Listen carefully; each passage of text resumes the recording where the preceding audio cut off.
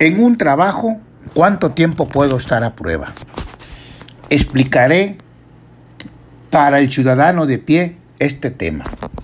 Con la reforma laboral, muchas personas tienen duda e inquietud hasta cuánto tiempo una persona trabajadora puede estar en periodo de prueba. Y la respuesta es de 30 a 180 días. Esto ante la luz de la Ley Federal de Trabajo plasmado en el artículo 39-A. La ley dice que si la relación de trabajo es por obra o por tiempo determinado, o por temporada de capacitación inicial, o por tiempo indeterminado, y en su caso está sujeta a un periodo de prueba, se deben de establecer las condiciones de trabajo.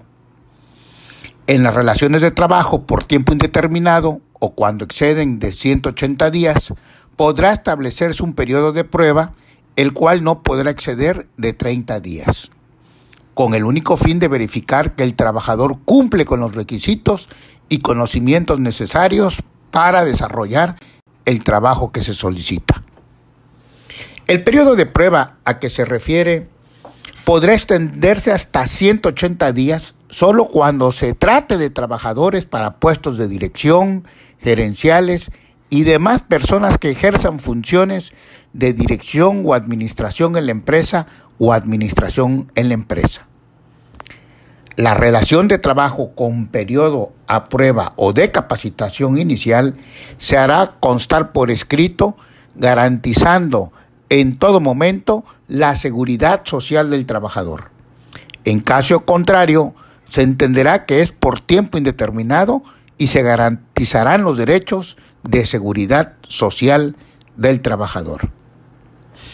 ¿Qué derechos tendrá el trabajador? Bueno, durante el periodo de prueba el trabajador disfrutará del salario, de la garantía de la seguridad social y de las prestaciones de la categoría o puesto que desempeñe. Al término de periodo de prueba de no acreditar el trabajador que satisface los requisitos y conocimientos necesarios para desarrollar las labores, a juicio del patrón y tomando en cuenta la opinión de la Comisión Mixta de Productividad, Capacitación y Adiestramiento, en los términos de esta ley, así como de la naturaleza de la categoría o del puesto, se dará por terminada la relación de trabajo sin responsabilidad para el patrón. Para concluir, la relación de trabajo con periodo a prueba o de capacitación inicial se hará constar por escrito, garantizando la seguridad social del trabajador.